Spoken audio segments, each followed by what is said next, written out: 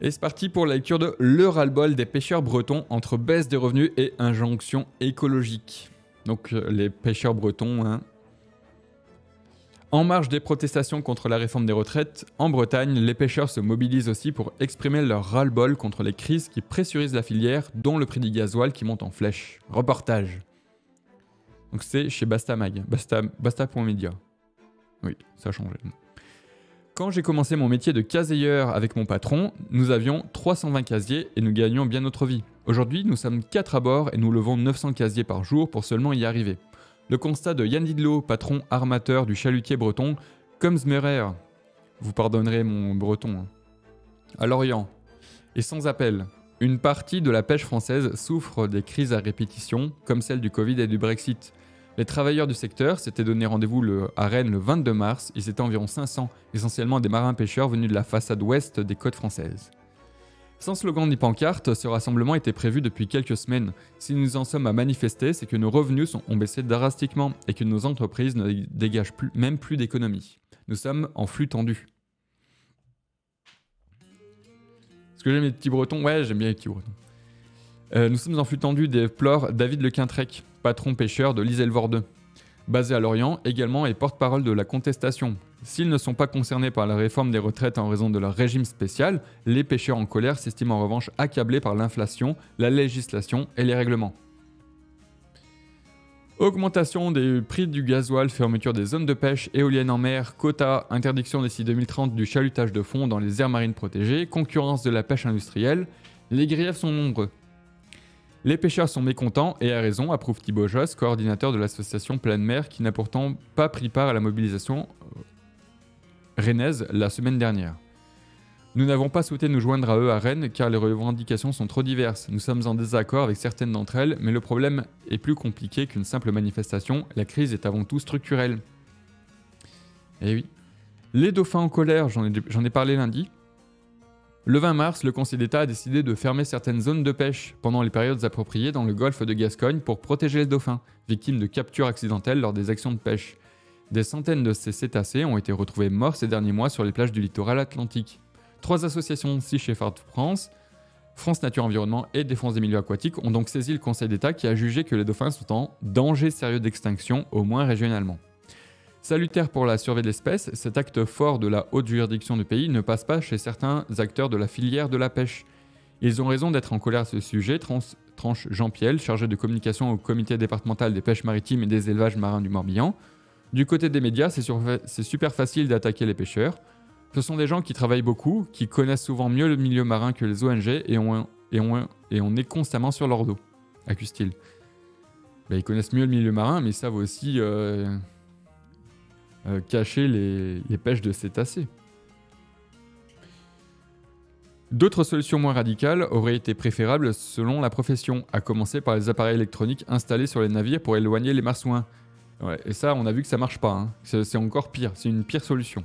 J'ai placé un effaroucheur sur la coque de mon bateau, explique David Le Quintrec. L'année dernière, j'ai pêché en tout 7 dauphins, mais en mettant l'appareil en route, un seul est remonté dans mes filets. Travailler plus pour compenser la hausse du gasoil. Ça, c'est pas un slogan de Sarkozy, ça. Hein. Au-delà du très médiatique sujet des marsouins, la colère générale exprimée à Rennes est alimentée par des causes similaires aux manifestations qui animent les villes françaises ces derniers jours. L'inflation et le pouvoir d'achat reviennent sur toutes les lèvres, ajoutés à une pénibilité au travail et un nombre d'heures passées à la tâche qui a peu d'équivalent dans le monde professionnel, agriculture mise à part. Pour gagner autant qu'avant, il faut travailler plus, regarde David Le Quintrec. Je commence autour de 1h du matin et je rentre vers 16h chaque jour, sauf le week-end. Pourtant, en termes de salaire, le dernier trimestre n'a jamais été aussi minable depuis un paquet d'années, explique-t-il. Donc ils, bossent 17, ils bossent 15 heures par jour. Donc ils font 5 x 5, 15 x 15, ils font du 75 heures. Cette pression financière est dominée par un problème majeur, le prix du gasoil. Un chalutier consomme environ 12, 1200 litres de gasoil par jour. Le gasoil représente environ 50% de la charge financière d'une entreprise de pêche au chalut sur une marée. Des chiffres qui donnent le tournis. Heureusement pour la filière, le gasoil bénéficie encore du soutien de l'État, prolongé jusqu'en octobre 2023 à hauteur de 20 centimes par litre, pour faire face à la hausse du prix du carburant. Malgré ce pansement, le prix du précieux liquide continue d'augmenter. Il faut investir massivement dans la transition au lieu de maintenir la filière sous perfusion avec les aides de gasoil, tranche Thibaut Joss de l'association Pleine Mer. Donc on va avoir quoi? On va avoir des chalutiers à, à l'hydrogène vert? Le gouvernement français et l'Union européenne sont largement critiqués par les pêcheurs, mais ils ont aussi un discours dur envers le président du Comité national des pêches maritimes et des élevages marins, Olivier Lenézé, qui est aussi à la tête du Comité départemental des pêches maritimes Morbihan, du Comité régional des pêches de Bretagne, de l'association Braise-Mer et aussi PDG du port de pêche de Lorient. Ce cumul de fonctions ne passe pas auprès des contestataires. Et ouais, mais c'est ça le pouvoir. Rejoint par des étudiants, le comité de pêche de l'Orient a voté pour ne pas affréter de bus pour que des marins pêcheurs viennent à ce rassemblement à Rennes. Lâche David Lequintrec, porte-parole du gouvernement. Nous lui donnons de l'argent pour nous défendre et nous représenter, et cela se retourne contre nous. S'il ne nous suit pas, c'est pour des raisons politiques et commerciales. C'est une structure mafieuse, accuse-t-il. Je ne serais pas étonné. Hein. Les reproches à l'encontre du comité sont nombreux, tels que l'impossibilité de vendre en direct leurs produits ou une politique générale jugée trop tendre face à l'arrivée des éoliennes en mer dans le secteur. Les pêcheurs ont tout à fait le droit de vendre en direct et cela existe dans le Morbihan. Nous ne les avons jamais empêchés de travailler ainsi, se défend Jean-Piel, en charge de la communication au comité départemental des pêches. Et c'est faux de dire que le comité ne les a pas défendus au sujet des éoliennes. Les pêcheurs étaient invités à chaque réunion pour définir la zone la moins impactante pour leur activité et peu d'entre eux sont venus. Ça veut dire que c'est mal foutu.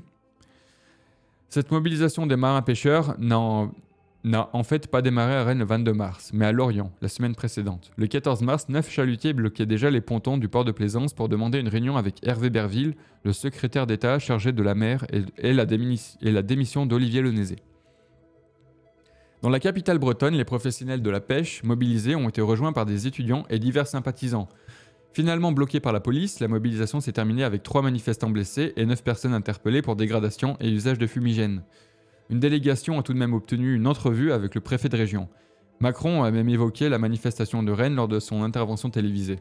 Alors que le président fustigerait la veille la foule des manifestants contre la réforme des retraites qui n'aurait pas de légitimité, il exprimait toute sa compréhension pour les pêcheurs. Il faut les entendre et les aider, a-t-il assuré. Là, vous sortez un énorme pipeau.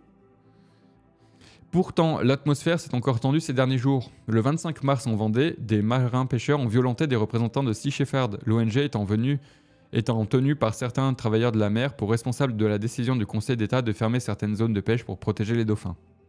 Le 24 mars, à Lorient, une cinquantaine de manifestants ont amarré leur bateau à l'entrée du port de Plaisance pour bloquer la navigation. Les fusées de détresse ont à nouveau été tirées, cette fois-ci en direction de la, de la gendarmerie maritime. Les locaux de l'organisation de producteurs pêcheurs de Bretagne ont été endommagés. Sur place, David Lequintrec a fait part de sa volonté de continuer les actions dans l'attente d'une rencontre avec Hervé Berville, secrétaire d'État chargé de la mer. Le port du Morbihan était toujours bloqué lundi 27 mars, rejoint par celui de Boulogne-sur-Mer dans le nord. Dans le même temps, des pêcheurs bretons manifestaient au domicile de la présidente de Sea dans le Finistère. Et voilà. Bon, bah c'est tendu, hein. C'est tendu euh, la pêche. Bon, YouTube, on se retrouve euh, comme d'hab bientôt. Prochaine lecture.